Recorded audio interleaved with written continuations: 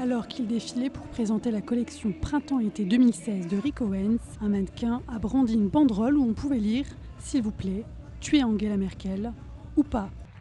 Le mannequin connu sous le nom de Gérard est la muse du designer depuis plus de dix ans. Cette mauvaise blague a déclenché la colère du couturier américain.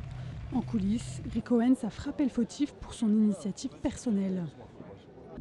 Ironie de l'histoire, la collection du designer évoque l'agressivité masculine.